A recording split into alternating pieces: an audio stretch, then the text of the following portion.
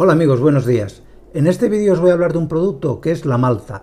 Seguramente muchos habréis oído hablar del uso de la malta para los gatos, pero también se usa y mucho para los perros. Seguramente esto sonará menos, ¿verdad? Pues en este vídeo os voy a explicar para qué se utilizan las dos especies de animales. Luego os lo cuento.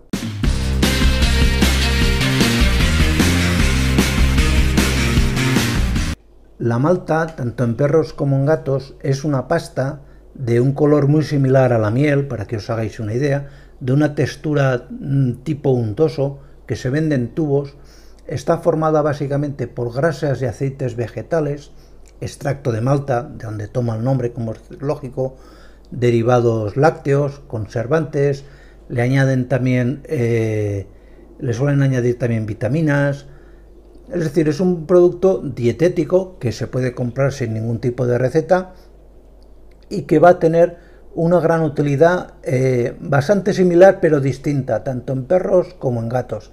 Y ahora os lo cuento.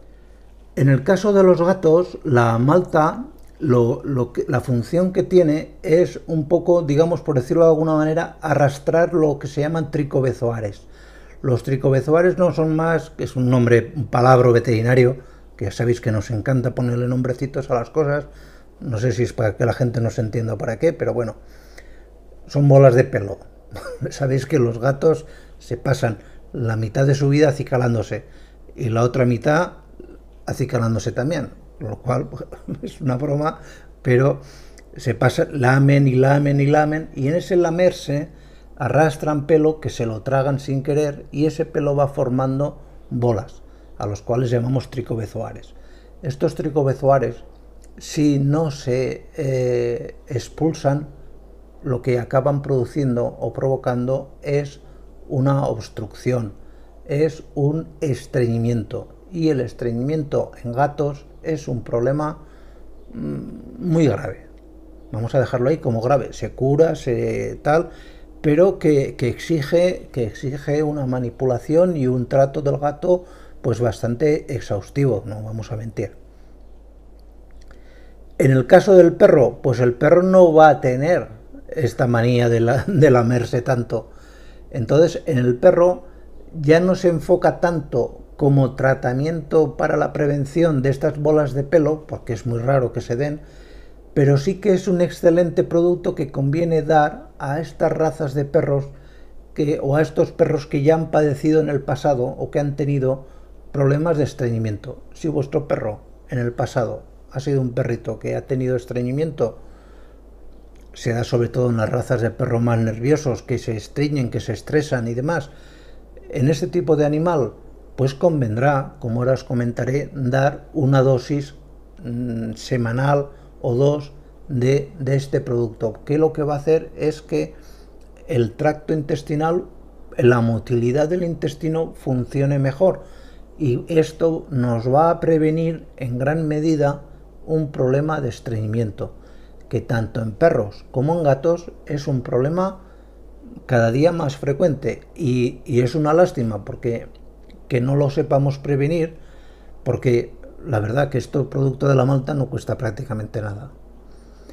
No cuesta, es muy económico. Los animales lo aceptan bastante bien suele gustar mucho, a los gatos incluso a muchos les parece hasta una golosina. Y, y, claro, de darlo a no darlo, luego te encuentras con problemas en ya gatos a partir de una edad que son, son, son graves, son problemas de estreñimiento que, que, cuestan, que cuestan resolver. Y en el caso del perro, pues eh, lo que conlleva es estreñimiento, que es la formación de un megacolon. Es decir, no te salen las heces por detrás, pues el colon se hincha, se hincha, se hincha, se forma un globo y a veces tienes que intervenir de una cirugía de urgencia para solucionar este problema. ¿Me entendéis? Quiero decir que, que parece mentira, como mm, esto que podría ser una cosita rutinaria que no cuesta nada, que no cuesta nada de verdad, nos evitaría luego a medio largo plazo gastarnos muchísimo dinero en el veterinario. ¿Cómo tengo que dar la malta al perro o al gato? Pues en el gato lo más cómodo es que le pongáis en la misma patita, en una mancha de la dosis, que ahora os comentaré cuál es, le pones la bolita de, de malta y el gato poco a poco, pim pam, pim pam. Hay veces, si, ve, si veis que el gato se mueve mucho, juega y se le va a caer, pues la ponéis en la comisura de los labios. que, tarde o temprano se la pasa también. Y ahí es casi seguro.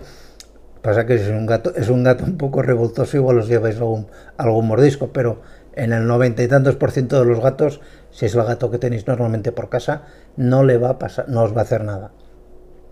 Y en el perro es todavía mucho más sencillo. Como la dosis es muy pequeña, se la podéis dar mezclada con, con, el pienso porque se la va a comer sin darse en absoluto nada de cuenta. La dosis de la, de la malta es para gatos adultos 2 gramos de malta, de pasta de malta, 2 gramos dos veces por semana. Para que os hagáis una idea, un gramo es una bolita de aproximadamente unos 4 centímetros de diámetro, de 3 a 4 centímetros, no llega a 4. Eh, en el caso de los perros, si el perro pesa menos de 15 kilos, lo más recomendable es solamente una bolita, eh, un gramo, dos veces por semana. Cada 3-4 días, una bolita, pam, pam y fuera. Si el perro pesa más de 15 kilos, sí que se le da ya la misma dosis que a los gatos, es decir, 2 gramos de pasta dos veces por semana, es decir, dos bolitas de aproximadamente esos 3-4 centímetros de diámetro que os he comentado. Y luego, pues como consejo, cuando vayáis a comprar la, la malta, pues como, como esto de la malta para gatos y para perros, hay tantísimos fabricantes, pues para diferenciarse unos de otros, pues uno que le pone probióticos, otro que le pone eh, no sé qué tipo de levadura, otro que le pone tal. Lo más importante es que básicamente lleve el extracto de malta con las grasas vegetales. Todo lo demás considero que es una forma de comercial de, diferenciar un producto de otro y, de, y en definitiva de, comprarlo, de venderlo un poquito más caro pero no va a funcionar mejor porque lleve no sé qué vitamina, ni va a funcionar peor porque no la lleve, ni va a ser más efectivo porque lleve una levadura que le hemos puesto, que tal. Solo cuando rascas un poquito ves que no hay ningún estudio que en verdad vale eso. Pues y nada más, esto es lo que os tenía que contar de la malta, tanto para perros como para gatos. Un producto que tenéis que tener en cartera para prevenir el estreñimiento en perros y sobre todo la formación de pelos, de bolas de pelo, los tricobezoares en gatos.